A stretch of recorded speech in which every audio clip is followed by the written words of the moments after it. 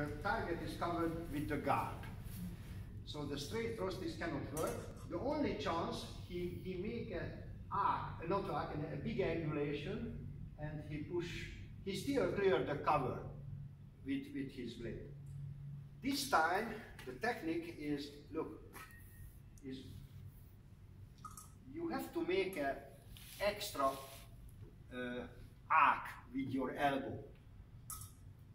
The target point was open, in this case, every part of his blade and also his forearm is came forward on a straight line, parallel. So this points parallel to another, parallel to another, only came forward. But with another situation when the target is covered, it's not enough to make the angulation, but you have to help with your elbow as well.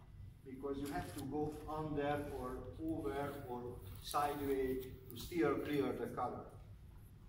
So the straight line is, wouldn't be enough. So you have to steer clear the guard, yes. And also, it's not only the angulation, but it's a help with your elbow with an extra arc. Okay, so thank you very much.